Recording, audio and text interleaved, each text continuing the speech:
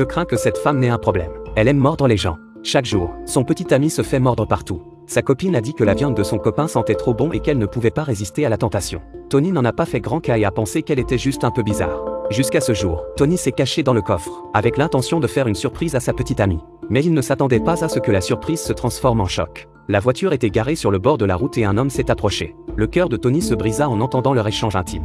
Maudite méchante fille. Tout au long du trajet, ils n'ont cessé de montrer leur intimité. Tony n'aurait jamais pensé que la femme qu'il aimait le tromperait. Après un long moment, la voiture entra dans une maison de campagne. La petite amie a emmené l'homme rencontrer ses parents. Tony était si triste d'être celui qui ne comptait pas. À ce moment-là, des cris ont retenti à l'extérieur.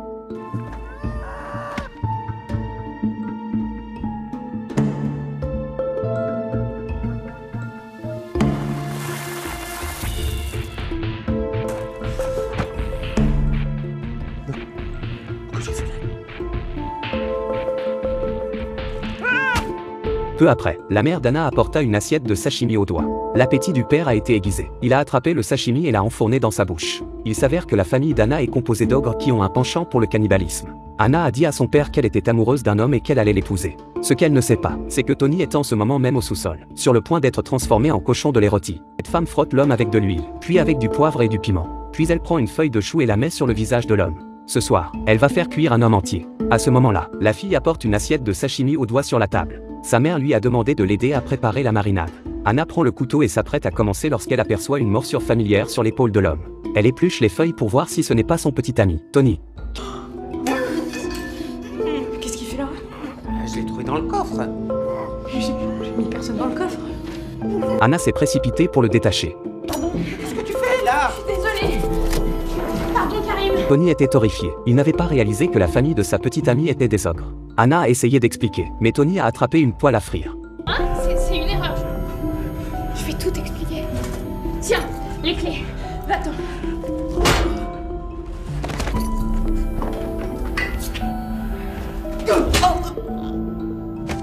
Après avoir assommé sa belle-mère, Tony remonta son pantalon et s'enfuit. Soudain, il entendit quelque chose.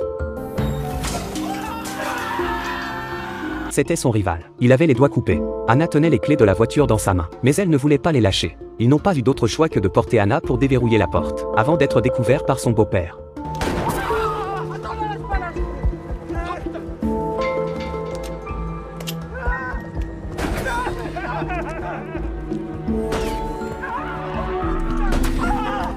Anna se réveille et se précipite à la recherche de Tony pour lui expliquer. C'est alors que sa belle-mère lance une scie.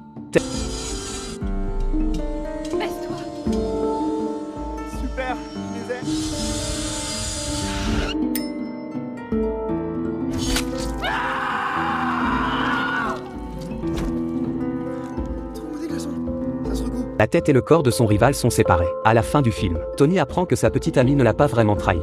Les deux se remettent donc ensemble et vivent une vie où ils pourraient être mangés tous les jours.